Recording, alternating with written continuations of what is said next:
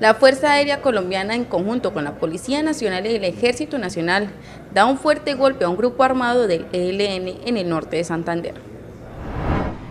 En desarrollo de una operación militar conjunta y coordinada entre su Fuerza Aérea Colombiana, el Ejército Nacional y la Policía Nacional, se logró ubicar y destruir un complejo para la producción de clorhidrato de cocaína que pertenecía al Frente Juan Fernando Porras del Grupo Armado Organizado ELN.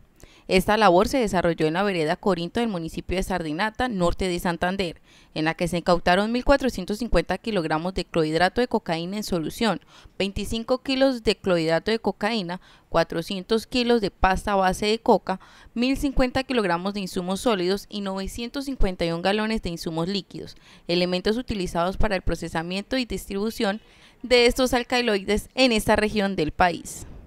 Un nuevo golpe contra las estructuras del GAO LN Norte de Santander dan su fuerza a la colombiana en una operación conjunta con nuestro Ejército Nacional y coordinada con la Policía Nacional. Es así como llegamos a la vereda Corinto, en el municipio de Sardinata, norte de Santander. Allí destruimos un laboratorio perteneciente al Frente Juan Fernando Porras del ELN. También neutralizamos un total de 1.450 kilos de clorhidrato de cocaína en solución, 400 kilos de pasta base de coca e insumos sólidos y líquidos.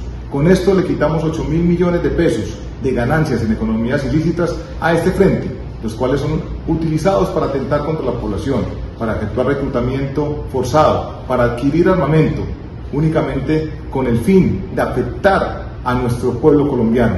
Seguimos trabajando por Colombia, somos su fuerza aérea colombiana, más cerca de las estrellas, pero más cerca de todos los colombianos.